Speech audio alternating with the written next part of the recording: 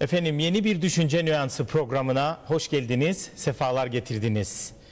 BRT1 ekranlarında günlerden Perşembe saatlerimiz 14 ve yine karşınızdayız. Bugün reşit olmuş her dünya vatandaşını ilgilendiren, devletle olan münasebetlerimizi zaptı rapt altına almaya hedefleyen, belki şeffaf, belki hesap verebilir, belki yönetişen, belki de eşitlikçi olmayı arzu eden bir kavramı masaya yatırıp anlamaya ve dilimizin döndüğünce, bilgimizin yettiğince anlatmaya çalışacağız. Konumuz e-devlet yani elektronik devlet. Konuğumuz ise bu alana neredeyse genç hayatını feda etmiş dersem hiç abartı olmayacaktır. Kalemi güçlü, genç, dinamik ve çok çalışkan ve çok başarılı bir akademisyen meslektaşımızı e, konuk ettik. İsmi yardımcı doçent doktor Tuğberk Kaya. Sevgili hocam hoş geldiniz. Hocam hoş bulduk. Güzel sözleriniz için teşekkürler davetiniz için de.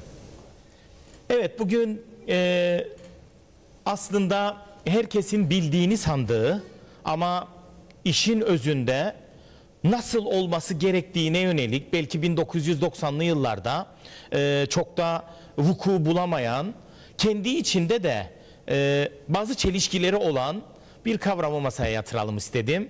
Bu alanda da Kuzey Kıbrıs Türk Cumhuriyeti'nde en iyilerden birisisiniz e, değerli hocam. E, kırmadınız, geldiniz, hoş geldiniz, sefa getirdiniz. E, iyi ki de geldiniz. BRT ekranlarında toplumumuzu bu konuda aydınlatmak için varız. Hocam, Platon genellikle ideal toplum düzenini ve adaletli toplum düzenini ve devletlere haksızlık eden devletlerin düzenini Orta Çağ'da anlatmaya çalışmış devlet kitabında değil mi? Diyor ki eğrilik varsa doğruluk daha karlı olamaz. Yani aslında Marx, e, e, Karl Marx'ın o diyalektik felsefesine de bir anlamda vurgu yapıyor e, Platon. Ve e, bu anlamda bakıldığında e, devlet kendi içinde bazen bir çıkmazda bazen de yönlendirici.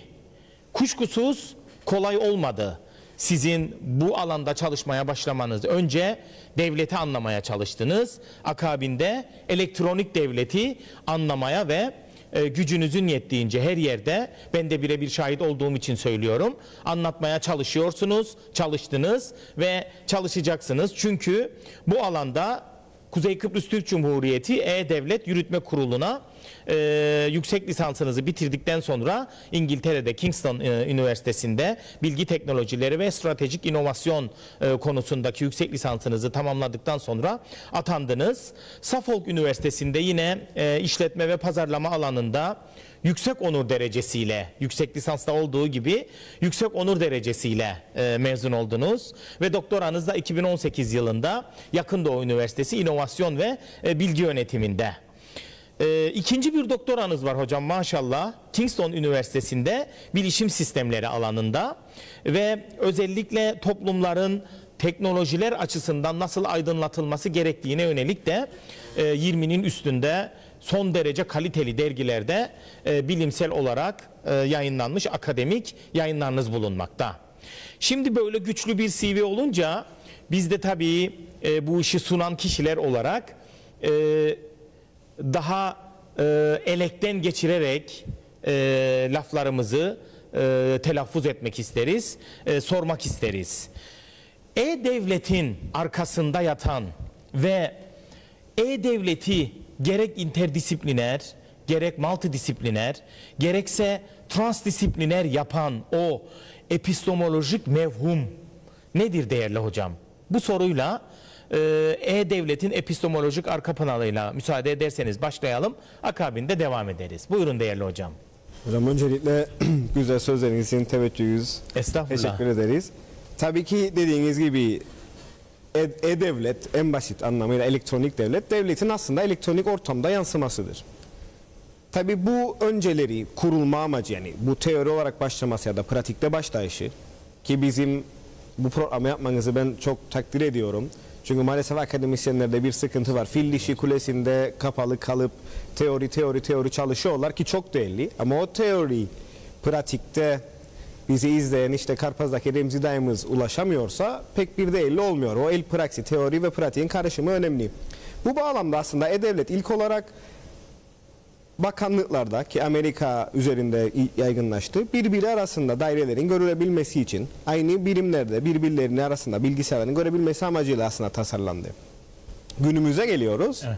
Şu anda dijital toplum, dijital birey, dijital organizasyonlar ki aslında bu e-devlet alanında ek bilgi de arada verebiliriz. Birleşmiş Milletler'in e-Government Survey, e-devlet e, anketi var. Her iki yılda bir yapılıyor. Evet. En köklü e, metodoloji o ve 193 ülkenin değerlendirildiği bir e, anket. Orada e-devlet ve dijital devlet kelimelerini beraber kullanıyorlar. Yani eşdeğer kullanıyorlar. Onun için yani izleyicilerde de bir karışıklık olmasın. Gerek dijital devlet, gerek e-devlet aslında aynı anlamı taşıyor literatürde ya da karar vericilerde. Peki neler vardır ve birazcık aslında kişiselleştirirsek beni ne itti? Şimdi daha adil bir düzen yaratmak için herkesin aslında kamunun hizmetlerine daha adil bir şekilde ulaşabilmesi için ne yapabilirsiniz?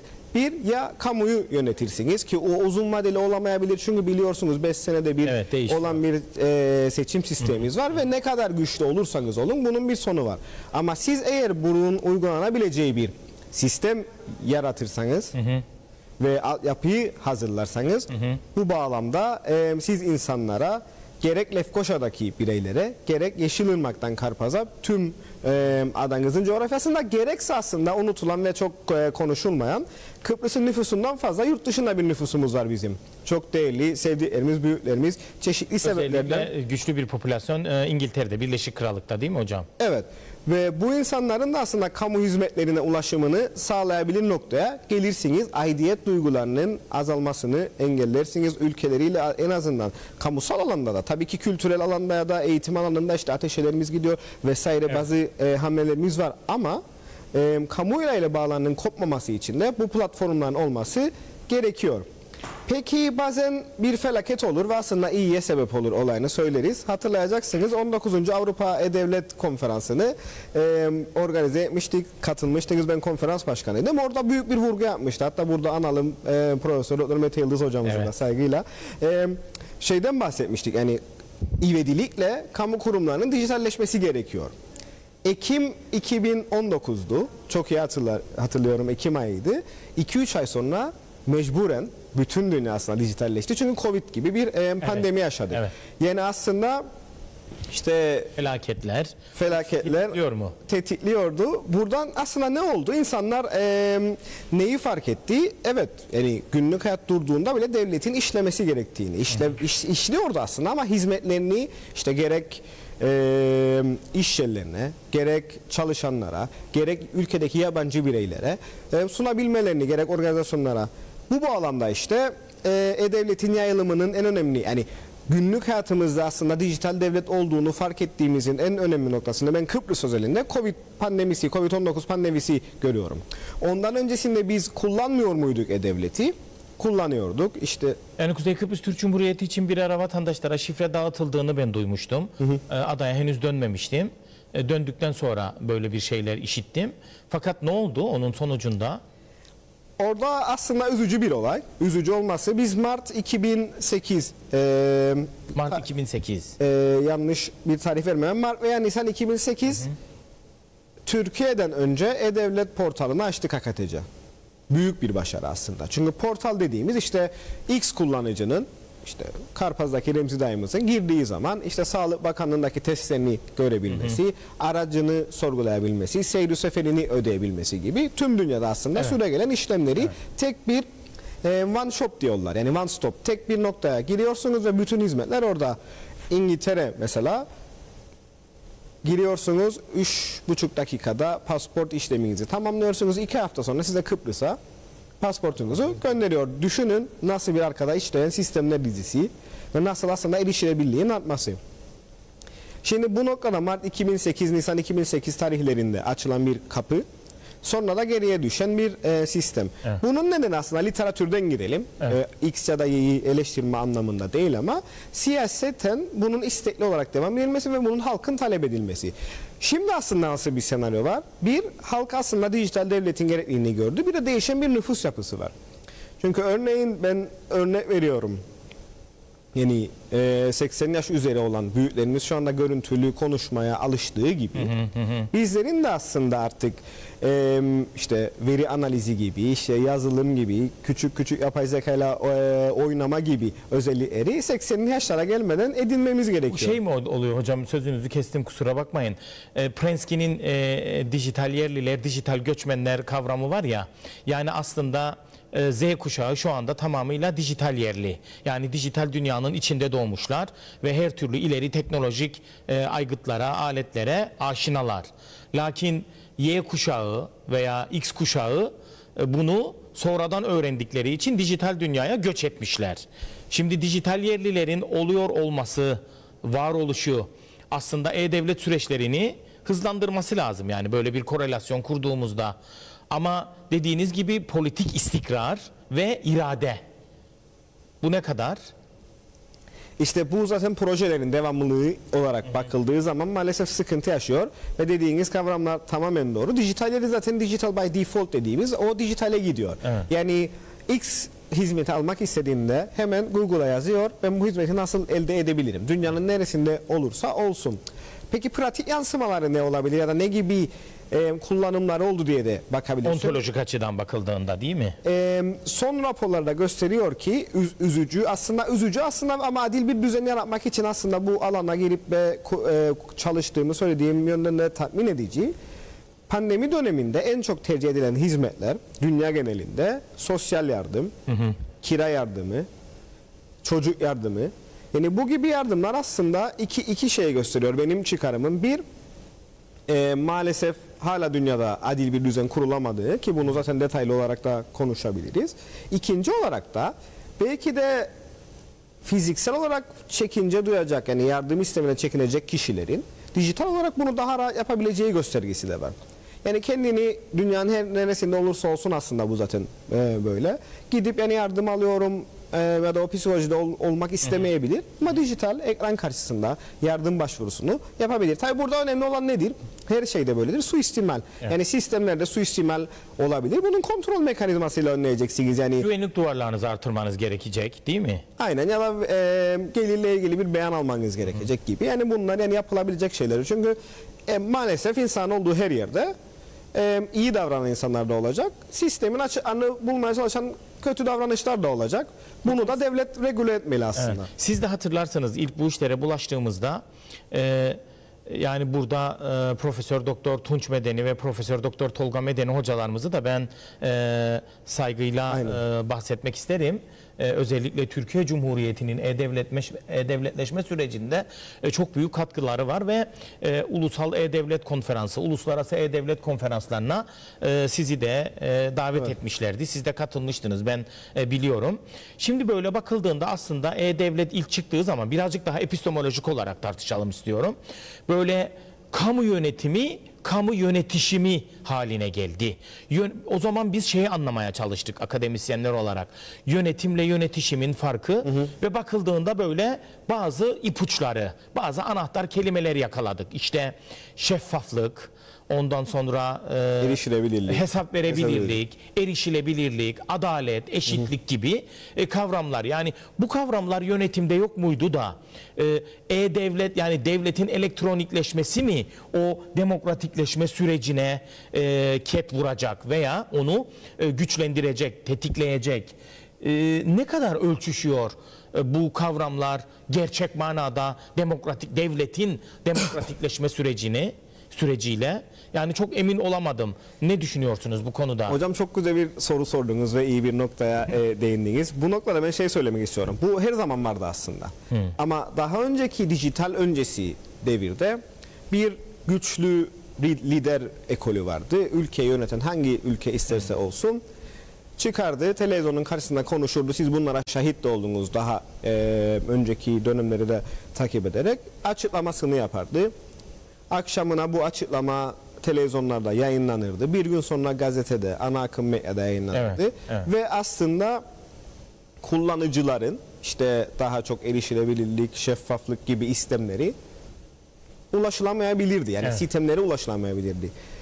Bizim işte Web 1'den Web 2'ye dediğimiz Hmm. işte daha çok sosyal medya 2004 sonrası sos, e, internet bu yani sosyal medya hesaplarının çıkması, herkesin her an bilgiye erişebilmesi tabi burada sahte haberleri de sonra belki değerlendiririz çünkü e, kamu yönetimini etkiliyor. Evet. Neyi getirdi? Karar vericilerin yani e, ülke yöneticisi diyebilirsiniz, karar verici diyebilirsiniz, söyleyenden dinleyen konumuna geçmesini getirdi. Yani eskiden sadece söylüyordu. 3 sene, 4 sene, 5 sene sonra seçimde görüyordu söylediklerinin karşılığı. Yani bir anlamda aktör eylem e, çakışması değil Evet. mi? Şu anda geri bildirim alıyor. Çünkü biliyorsunuz e, örnekler var İspanya'dan örnek verelim ülkemizden vermese bile Granada Belediyesi başkan Twitter üzerinden yönetiyor belediyeyi. Hemen yaptığı bir şeye altına işte vatandaşları, takipçileri yorum yazıyor.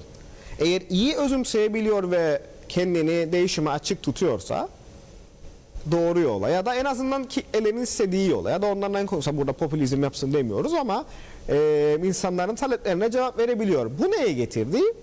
Eskiden işte 5 sene, 4 sene, 3 sene ülke ya da süreye göre değişen seçim süresine göre olan karar vericinin e, desteğini gördüğü alan şu anda canlı oldu. Ha tabi burada şeye de kapılmasın çünkü e, bunu ben araştırdım. Son 2022 seçimlerinde 8 parti e, katıldı.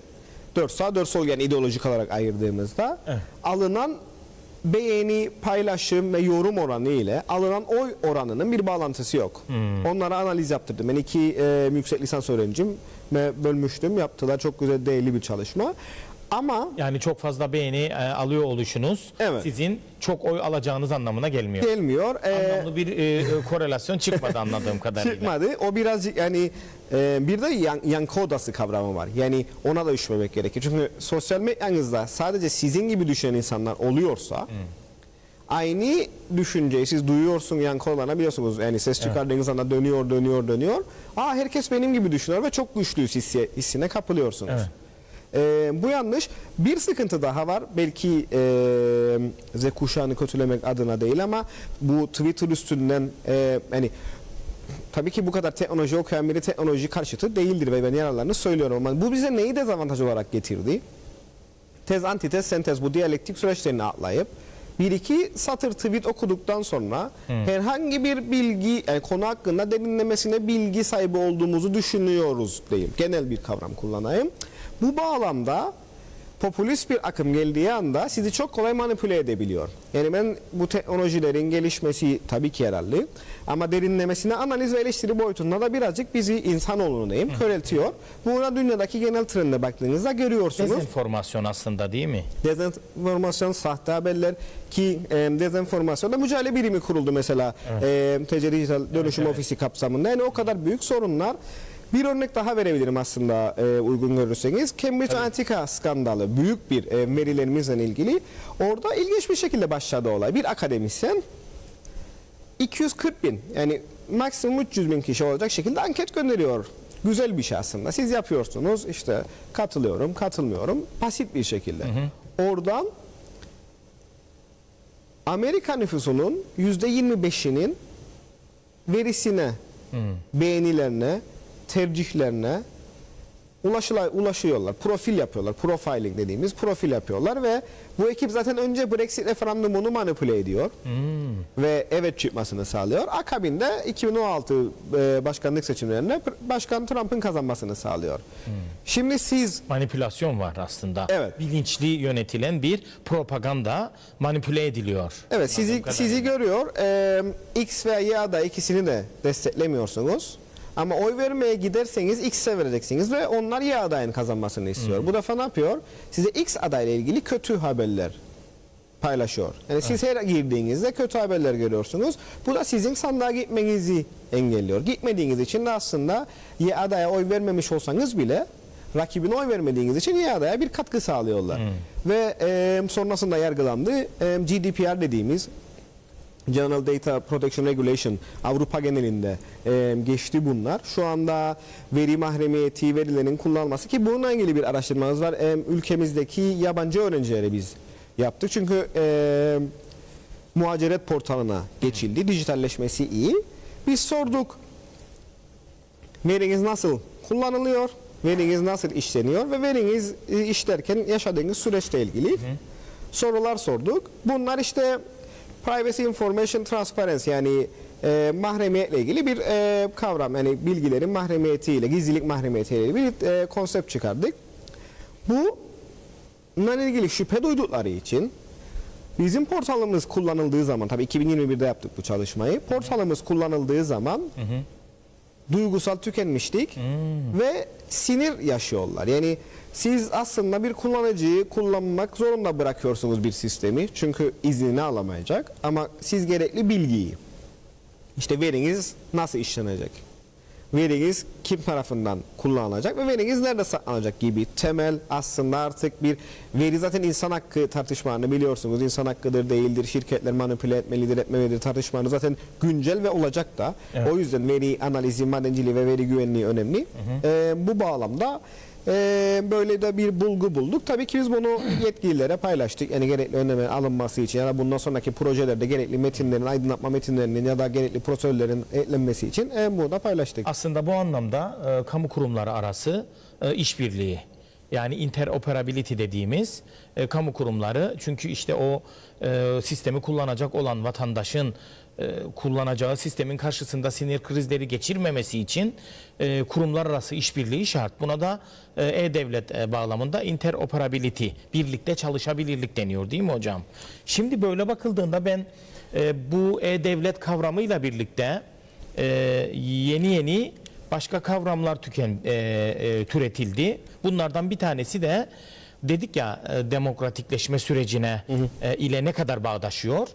Bir de siber demo- e, demokrasi, hani cyber demo- e, siber demokrasi ve siber bürokrasi, e, cyberokrasi gibi kavramlar çıktı. Neolojik söylemlerden uzak olmaya çalışıyoruz elimizden geldiğince ki kavramlar yerli yerine oturtulabilsin.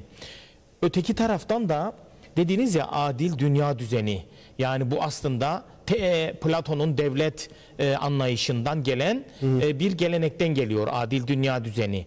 Bunu hiçbir ülke kendi başına idealize edebilecek güçte değil. Maalesef. Bunu çok zengin bir ülke olsanız da kaynaklarınızla özellikle finansal kaynaklarınızla da yapamazsınız.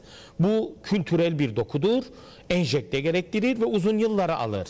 Şimdi böyle bakıldığında değerli hocam acaba adil dünya düzeni veya işte bu özgürleşim e, bağlamında vatandaşın kendi özgürlüğünün önüne de geçebilecek bir şey mi?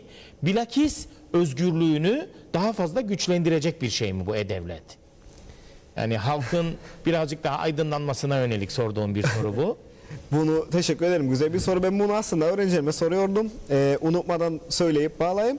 Avrupa birlikte çalışabilirlik e, e, çerçevesi yapıldı. Siz Roma'da doğuyorsanız gidip Paris'te doğum belgesi alabiliyorsunuz. Bu kadar işte bağlı. Bu ne demek? Aslında sistemlerin birbirini görebilmesi açısından önemlidir. Aynı dilin kullanılması. Ben hep şey soruyorum. E, özellikle doktora sınıfında biliyorsunuz yani daha çok tartışma ne istiyorsunuz? Evet. E, tehditler var ve bilgi ve iletişim teknolojileri ve bu işte devletin sağladığı teknolojik altyapıyla kullanılan uygulamalar da bazı tehditlerin e, organizasyonu için kullanılıyor. Evet. Siz toplumsal güvenliğiniz için kişisel mesajlarının devlet tarafından takip edilmesini onaylıyor musunuz? Discuss, tartışın.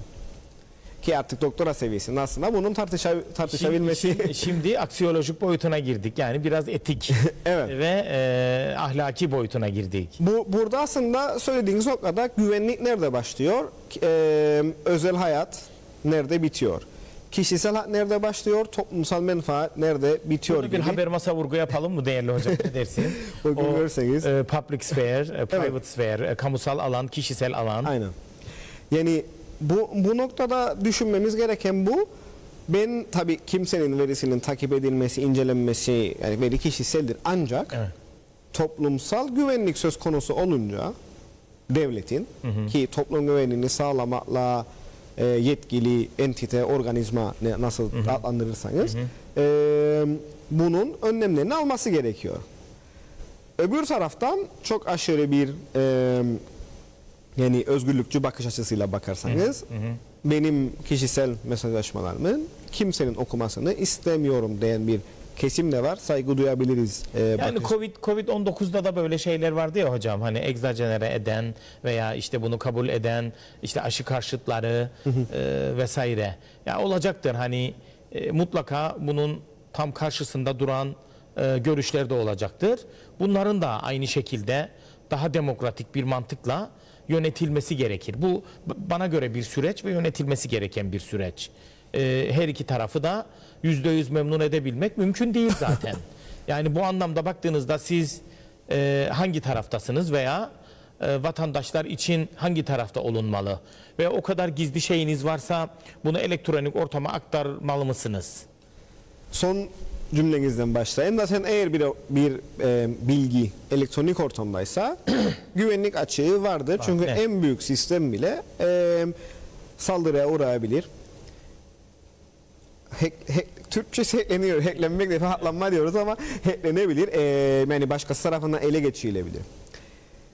Ben hangi noktadayım noktasında biliyorsunuz her dirence direncin e, değişimi isteyen ekip vardır. Mevcut statikodan mutlu olmayan. Bir de mevcut statikodan mutlu olan diren, e, değişime karşı direnç gösteren bir kitle vardır. Ondan yani bu de, nemalanan değil mi? aynen değişim teorisidir. Siz daha iyi bileceksiniz. Estağfurullah. Burada kitlelenen iletişim aslında bunu düşürebilir. Çünkü biz her zaman böyle Covid-19 pandemisi gibi bir problemle yaşayıp herkesin bir anda dijitalleşmesini sağlayamayacağız. Evet, Evet, o dönem sağlandı. Ama bu mesela işte ne kadar dijital olarak e, laptoplarımız yanımızda olsa da not yazmayı belki daha hızlı olduğu için e, ka- e, ajandamıza yapıyoruz. Evet. Bunu aslında tablete geçtiği zaman biz bir dijital dönüşümü de yaşayacağız. Bu kayıtları 20 sene sonra izledikten sonra 20 sene sonraki programa bir bakarsa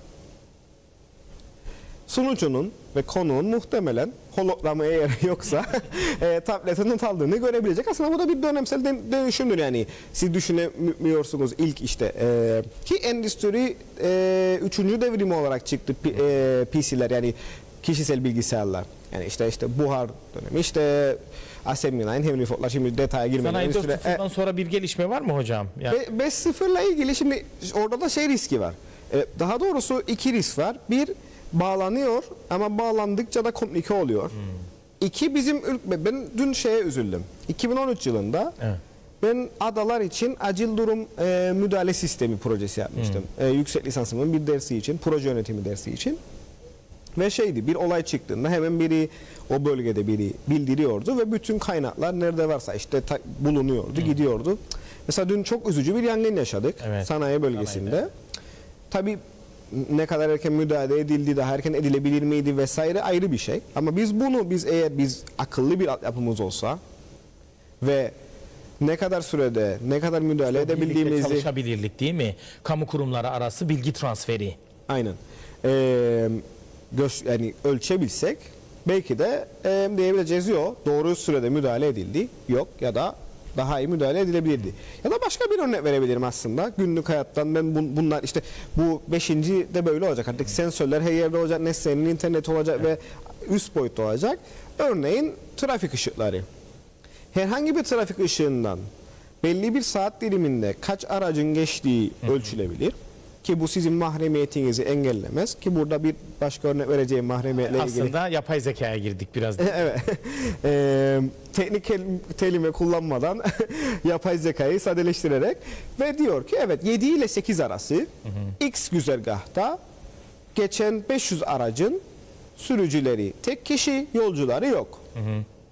Bu bize neyi gösterir? Aslında o güzergah arası bir toplu taşımacılık olursa 500 araç yerine belki de orada 50 araç, 200 araç olacaktır. Yani bu trafik optimizasyonu diye geçiyor. Bu denenen ülkelerde ki yani biz gelişmekte olan ülkeler kategorisindeyiz. Gelişen ülkelerde bu deneniyor. Yani %70-75 verimliliği artırdı. Bu neden önemlidir? Bir kaynakların korunması. Evet. Yani çevresel karar e, devlet kaynaklarının korunması da önemlidir. Çünkü Doğru. biz yani Tasarruf sağlıyor aslında. Evet, e, scarcity yani kaynaklar tükenir, tüke, tükenir olduğu için biz dikkat etmeliyiz. Yani gerek evet E, gerek e, dünya özelinde gerek ülkemiz özelinde.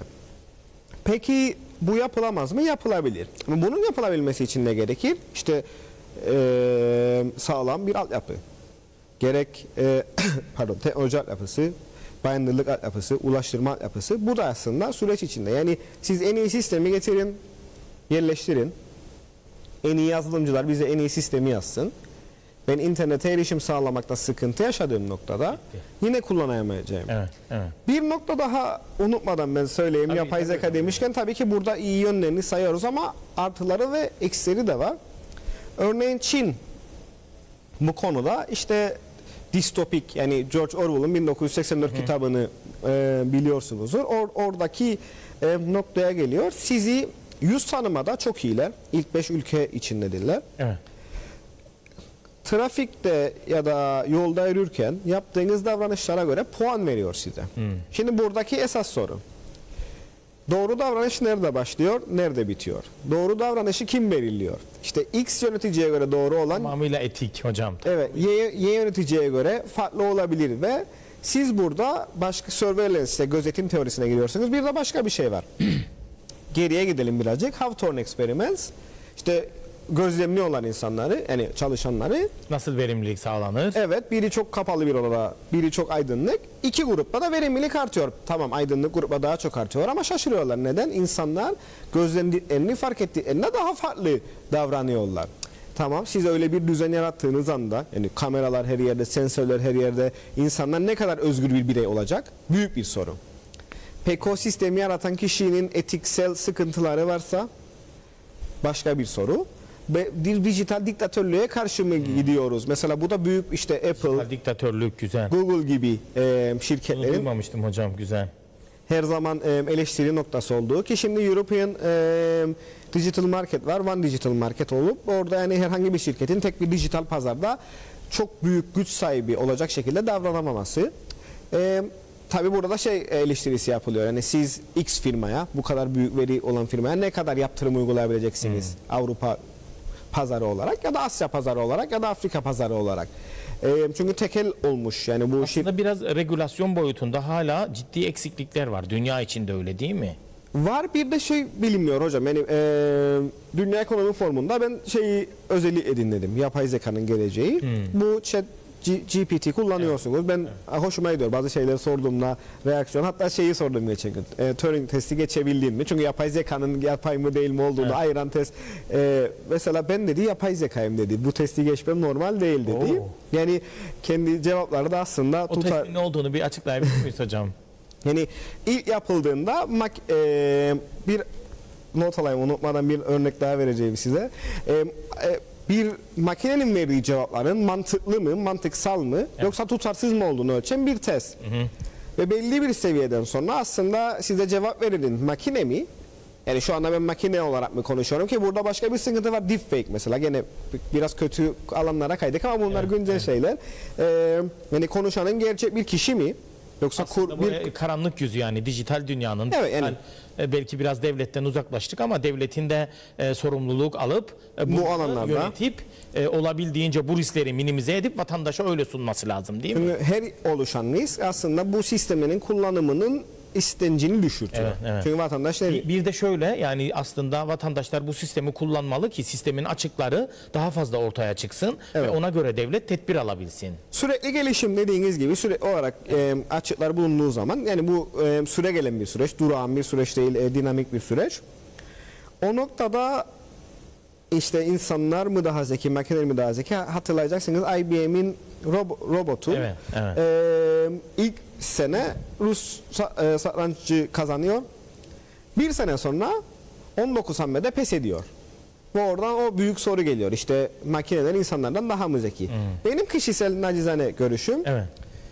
veri işleme hızı olarak ve veri depolama hızı olarak biz bu cihazlarla yarışamayız. Ki yarışmamız da gerekiyor. Şimdi ben size bir oran söyleyecek olsam bunu aklımda mı tutmam daha mantıklıdır yoksa buradan mı bakmam? Buradan bakmam daha pratiktir. Evet. Yani ben kendimi yormama açısından da verimlilik açısından da. Ama buradaki veriyi anlamlaştırıp uygulamaya almada, yorumlamada, işte ge- gerek bir makale yapmada gerek pratikte uygulamada insan faktörü bence her zaman önemli olacaktır.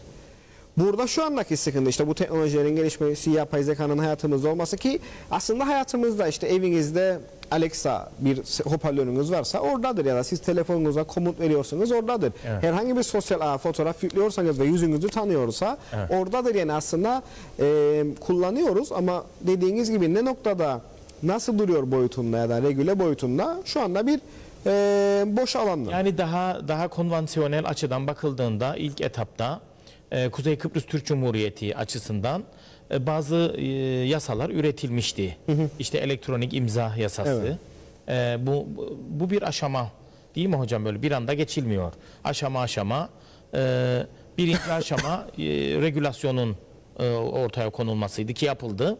İkinci aşama yavaş yavaş bunların kamu kurumlarında uygulanmasıydı. Artık kamu kurumları e-imzayı da uyguluyor. Evet. Ee, işte bir de kişisel verilerin e, korunması e, meselesi vardı. O da yasallaştı.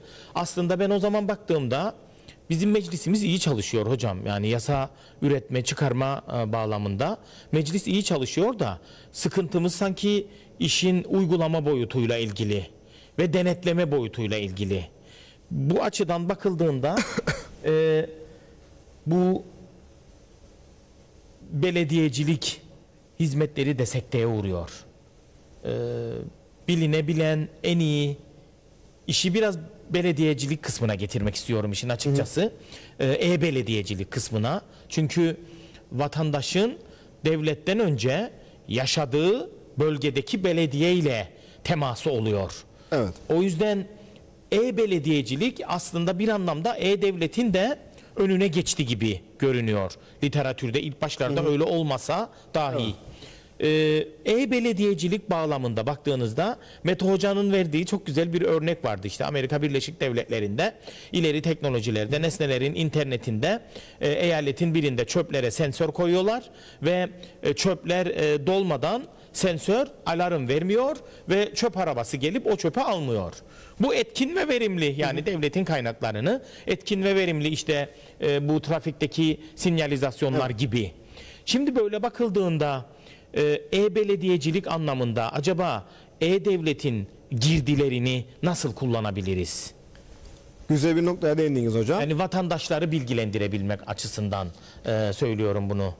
Teorik olarak önemini an- anladılar. En azından şöyle diyebilirim. İşte Birleşmiş Milletler'in e, yayınladığı E-Devlet raporunda belediyelere özel bir bölüm açıldı. Evet. Bu aslında gerektiğini gösteriyor. Pratik olarak ne olabilir? Zaten belediyeler e, neler yapıyor? Bayındırlık hizmeti veriyor. İşte su, kanalizasyon Evet. gibi. imar hizmeti veriyor. İşte yol yapımı ve işte e, inşaların yapılması gibi. Evet. Temizlik hizmeti veriyor. İşte park bahçe hizmetleri veriyor vesaire. Aydınlatma. Aydınlatma. Ve ödemeleriniz var. Bunlara karşı işte ödediğiniz ücretler var. Evet.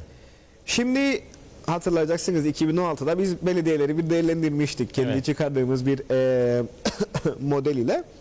Gelişmekteydi daha aslında web sitesi var mı yok mu? Ya da web sitesinde yabancı bil var mı yok muydu? Ama ödeme yapma olanağı 2016'da yoktu. Bugün girelim çoğu belediyemizde dün ben merak amaçlı birkaç belediye inceledim. Ödeme yapabiliyorsunuz. Burada iki nokta geliyor. Ödeme yapabileceğimiz belediyelerin ismini söylemekte ben bir sakınca görmüyorum hocam. Yani e, en iyi uygulamalar olarak Kuzey Kıbrıs Türk Cumhuriyeti için belki diğer ödeme yapılamayan belediyelere de yol açabilmek adına söylemekte bir sakınca görmüyorum. Söyleyebilirsiniz. Yani- bu devlet kurumu olduğu için e, sıkıntı yok. Şu anda ben kullandığım için söyleyeyim Lefkoşa Türk Belediyesi'nde ödüyorum. Hatta şu örneği verecektim Lefkoşa Türk Belediyesi'nde mobilden ödüyorum ki hatırlayacaksınız e, test çalışma kapsamında Lefkoşa Evet. Türk Belediyesi'nde yoktu. Hatta bir resim Evet, çıkartmıştım evet, ben ne- network analizi orada kullanamıyorum vardı. Onu düşündüm ben geçen gün. Bunu yenilemek lazım artık. Yani e, bir de ikinci bir oran ben dedemlerin de e, su borcunu ödüyorum. Aslında orada pasif kullanıcı gibiyim. Yani başka birinin e, için kullanıyorum. Bu noktada kullanıcı sayısıyla gerçek kullanıcı sayısı arasında bir fark olduğu zaten e, gerçektir. Tabii ki 80 yaş üstü bireylerin şu anda o kadar rahat kullanabilmesini be-. Dün incelediğim için Değirmenlik Akıncı Belediyesi'nde e, ödeme e, opsiyonlarının olduğunu söyleyebilirim. Muhasebe Girne Belediyelerine de baktım. Onlarda da var ama tüm ada genelinde bakamadım. Yani burada da yanlış Yani bir bilgi bir vermek- ara e, yani e-belediyecilik şeyinde e, Gönyeli Belediyesi bayağı Evet. bir ileri düzeydeydi. Evet. Şimdi tabii son durum nedir? İşin açıkçası biz de e, çok bakmadık. Belki bu alanda da yeni bilimsel e, akademik çalışmalar, yapay zeka da ekleyerek, ileri teknolojiler, akıllı teknolojileri de Evet. e, ekleyerek yeni bilimsel çalışmalar yapılabilir aslında. GPT'ye de sorabiliriz. Bize baksın. Evet. Ee, değerli hocam şimdi bir 10 dakikamız kaldı. Benim konuklara programın formatı gereği yönelttiğim 3 tane soru var. Bu soruları 10 dakikada açarak da e, cevaplayabiliriz. Yani Tuğber Kaya olarak ve e, E-Devlet'in de e, Kuzey Kıbrıs Türk Cumhuriyeti'nde en önemli kompetanlarından, uzmanlarından, e, bilir kişisinden e, birisi olarak e, bilebilmekten en çok keyif aldığınız şeyin ne olduğunu müsaadenizle sorabilir miyim? Haddimi desem hocam. oh. Onu Mevlana hocam. Yani aslında araç yani bir verdiğiniz emeğin karşılığını almanın o hazzı bence bil- bilip tat, tatma olarak yani bilmeyi deneyimlemek olarak ele alırsak eee Mesela yaptığınız bir bilimsel özür diliyorum hocam. Ne demek hocam? Mesela yaptığınız bir bilimsel çalışmada attığınız taşın ürküttüğünüz kurbağaya değdiğini görüyor olabilmek değil mi?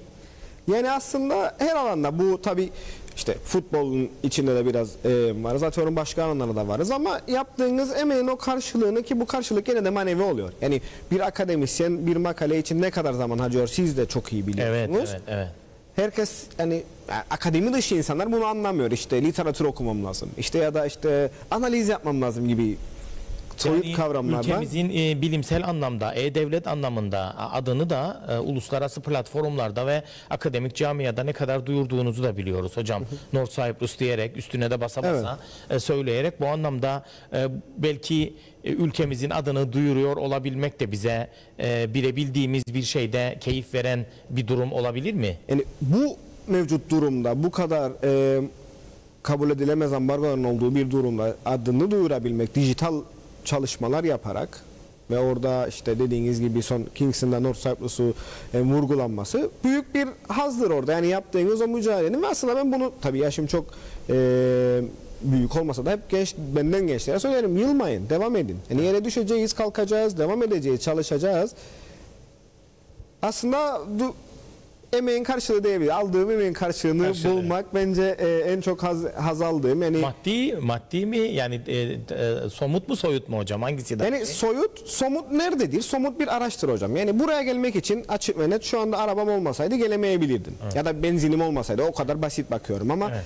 ben şeyi söylüyorum yani girip araştırılsın. Belli bir skalanın üstü zaten sizi değiştirmiyor. Yani şu anda kazandığınız maaşın 3 katını kazansanız Evet. yine siz bence aynı takım elbiseyi giyeceksiniz. Yine aynı yemeği yiyeceksiniz. Yine aynı arabayı süreceksiniz. Bu aslında belli bir olgunluk seviyesine gelindiğidir ki bu kadar yıldır emek veren ve çalışan birinin zaten bu standartta olması ol- olmamasıdır sıkıntı. Yani e, o zaten ayrı bir konu. Yani e-devletin özelinde toplumsal yaşal ve e, durumla ilgili bir ekonomik gerçeklerle ilgili bir konu ama yani bu, bunun ayrımını da yapabil, ya- ya- yapabilmemiz gerekiyor. Yani çalışan birinin hakkını alması kadar doğal ve gerekli olan bir durum bence yok. Yani bilişsel tatmin değil mi hocam? Bilişsel tatmin. Ee, ikinci sorumuz da şu değerli hocam. Bilebilmenizin sınırlarını nasıl keşfedersiniz? Oh. Yani baktınız belki daha açıklayıcı olabilmesi açısından baktınız ya bu beni aşar dediniz. İşte bu beni aşar dediğiniz e, sınırların e, noktası nerede başlıyor sizde? Yani her zaman sınırlar zorlanmalıdır e, düşüncesindeyim. Ancak mesela bazı gerçeklikler vardır. Şu anda ben de facto ülkelerde bir araştırma yapmak istiyorum. Yani adı yani tanım belli çeşitli sebeplerden tanınmamış. Bu bir bütçe istiyor. Yani bunu iki türlü yapabilirsiniz. Bir ya evet gidip her ülkeden bir akademisyen bulursunuz o ülkelerden ortak bir çalışma yaparsınız ya da bir finansör bulursunuz. O yüzden bunu yani bir 5-6 senedir aslında yapmam yapmak istediğimin arasında durmasına rağmen yapamıyorum.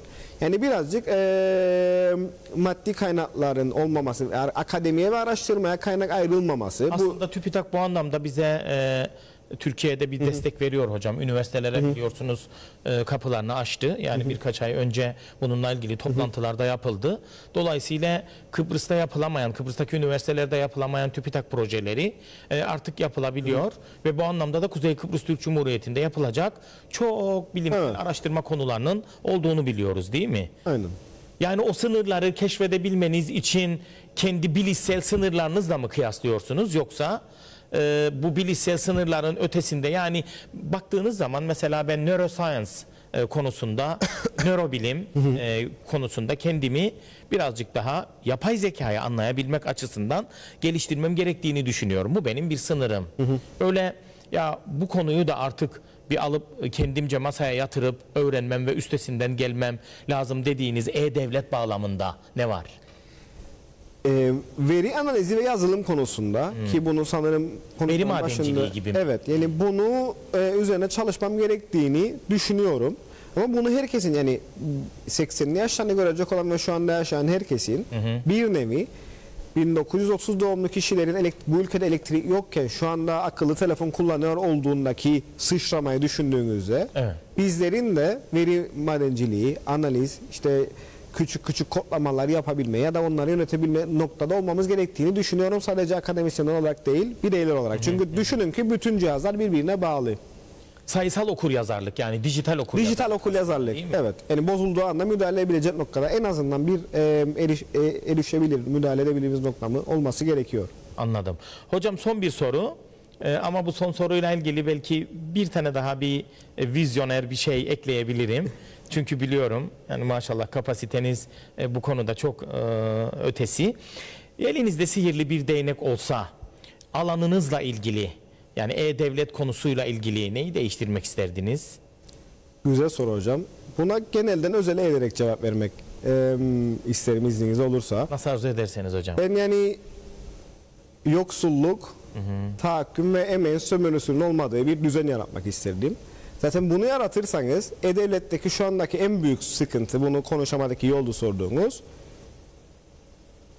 1 milyara yakın insanın 1 dolardan az gelir seviyesinde yaşadığı gerçeğidir. Yani şimdi biz diyoruz evet çok güzel sensörler ölçecek, trafik ışıkları yanacak, işte pasportumuzu onunla alacağız. Pratikte Kıbrıs'ta bu kadar olmasa bile işte belirli bir gelir seviyesinin altında yaşayan ve buna da işte zaten eee e, absolute ve relative poverty kavramları işte e, olarak da değinilen yani insanların teknolojiye erişimin olmaması zaten bu devlet teknolojini kullanması anlamındadır ama zaten siz barınma sıkıntısı işte savaşların olduğu bir e, dünyada maalesef böyle yani daha hayati tehlikesi olan insanlara hadi e-devlet kullan hadi elektronik olarak devlet yönetişimi yapalım noktasında konuştuğumuzda zaten maalesef e, bir gerçeklik payı yok. Onların zaten kullanabileceği bir servis değil. O yüzden yani bu huzur ortamını, barış ortamını yaratıp savaşların olmadığı bir düzen yaratıp yoksulluğun kaldırılmasıyla o zaman herkesin yani e-devlet kullanabilecek gelir seviyesine gelmesini yaratmak istedim öyle bir sivri değneğim olsa. Evet. Peki e-devlet anlamında bakıldığında e, neyi değiştirmek isterdiniz? Yani Kuzey Kıbrıs Türk Cumhuriyeti'nde e, e-devlet kullanımının hem vatandaşlarca devlet tarafından daha fazla özendirilmesi, işte bütün kamu kurumları ile ilgili hizmetlerin tek bir portala taşınıp vatandaşların o portalda Türkiye'de olduğu gibi o portaldan erişip e, işte Sosyal Sigortalar Kurumu'na, ihtiyaç sandığı kurumuna vesaire gibi yerlere ayrı ayrı kanallardan değil de tek bir portaldan girip bütün hikayesini yani Türkiye'de şu anda E-Devlet'te soy ağacı bile e, ortaya çıkıyor. E, soy ağacını bile e, gösteriyorlar. Öyle bakıldığında e, son teknolojilerde Metaverse diye de bir kavram var. E, Tuberk Hocam. E, E-Devlet'le Metaverse bağlantısıyla ilgili bir öngörünüz var mı? Hiç çalışılmamış bir alan belki Evet. çok az çalışılmamış demeyelim de çok çok az çalışılmış bir e, alan. Bizi izleyen e, akademisyen meslektaşlarımız varsa da onun için böyle gelecekte yapılabilecek araştırmalar konusunda kendilerine de örnekler vermiş oluruz. Metaverse ve e, e-devlet dediğimizde son olarak ne söylemek istersiniz? Bir dakikamız var. Metaverse'te neden biz kendi devletimizi yaratmıyoruz? Birinci sorum olur. Bu büyük bir e, pazar ve dijital olarak hiçbir ambargoyu alamayacağınız bir pazar. İkinci olarak da dijital servisleri, e-devlet servislerinin kullanan her kullanıcıya, işte vatandaş olsun yabancı olsun %10 indirim yapardım. Oradan oluşan fonla bu altyapımızı güçlendirelim, servislerin daha iyi olmasını sağlarım ve portalın kullanmasını sağlarım. Aslında zor değil. Belirli bir teşvik vererek vatandaşları o mecraya itmek de aslında kamu aslında karar daha ideal, elinde. daha ideal, daha yönetilebilir, daha adil, daha şeffaf ve daha eşitlikçi e, bir e, dünya yaratırdık Metaverse'te ve o zaman belki e-devlete de gerek kalmazdı değil mi? Hocam çok teşekkür ediyoruz. Ben teşekkür ederim. Verdiğiniz bilgiler son derece aydınlatıcı. E, halk içinde e, öyledir diye umuyorum. Efendim bir düşünce nüansı programının yine sonuna geldik. Yapımda ve yayında emeği geçen e, arkadaşlarıma e, BRT çalışanlarına, yöneticilerine ve Üniversite Mlefki Avrupa Üniversitesi'ne e, çok teşekkür ediyorum. Haftaya yeni bir konuk ve yeni bir konuyla yeniden görüşmek dileğiyle. Hoşçakalın, dostça kalın.